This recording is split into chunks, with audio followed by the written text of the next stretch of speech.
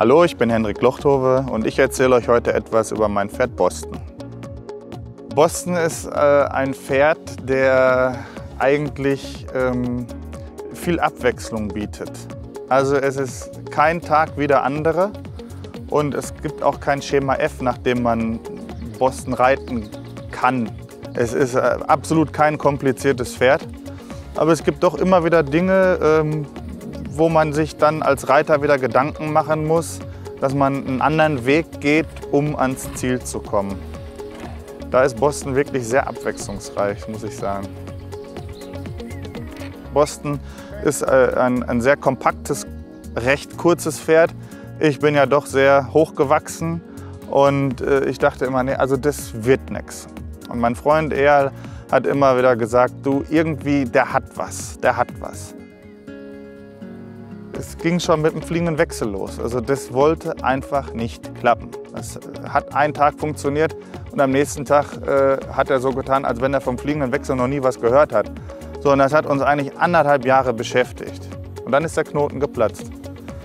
Dann ging auf einmal ein Wechsel, dann machte er ein paar Serienwechsel.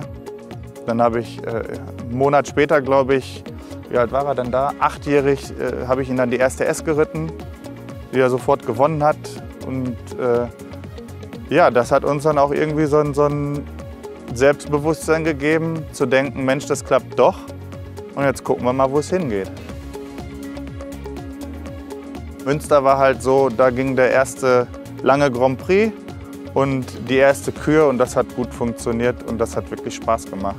Und das war abends vor dem Schloss, vor dem Münsteraner Schloss bei Flutlicht und da war er neunjährig und das war schon ein besonderes Erlebnis.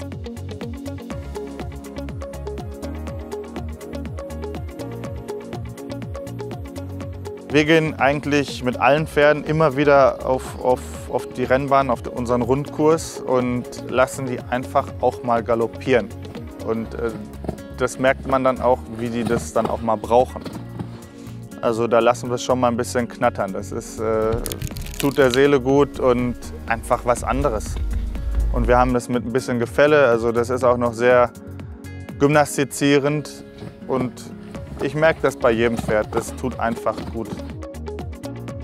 Boston geht zu Hause wirklich toll, aber so der Knoten im Viereck in der Prüfung, der ist noch nicht so richtig äh, geplatzt. Und von daher haben wir uns ein bisschen mit den Turnieren zurückgenommen, um einfach zu sagen, wir wollen das vernünftig zu Hause festigen und stabilisieren und dann natürlich auch jetzt zur zweiten Hälfte des Jahres mehrere Turniere reiten, um dann einfach auch an der Turnierroutine zu arbeiten.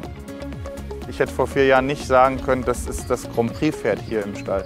Aber er hat sich dahingehend so gut entwickelt, dass ich jetzt sehr froh bin, dass wir ihn hier bei uns haben. Jetzt habe ich euch etwas über mein Pferd Boston erzählt und beim nächsten Mal erzähle ich euch etwas über meinen Weg und wie alles angefangen hat.